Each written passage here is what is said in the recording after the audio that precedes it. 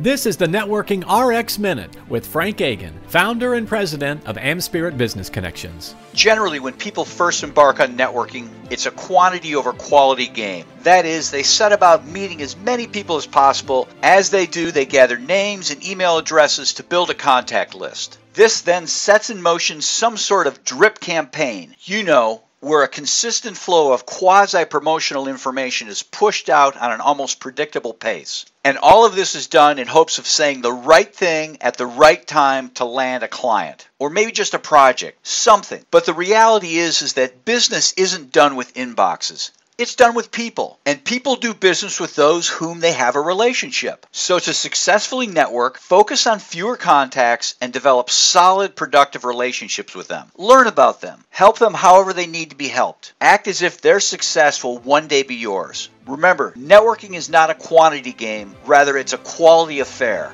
Join our team. AmSpirit Business Connections has a great franchise opportunity for aspiring entrepreneurs to add to what they're already doing. Interested? Contact Frank Agin via frankagin.com. F R A N K A G I N.com. Thanks.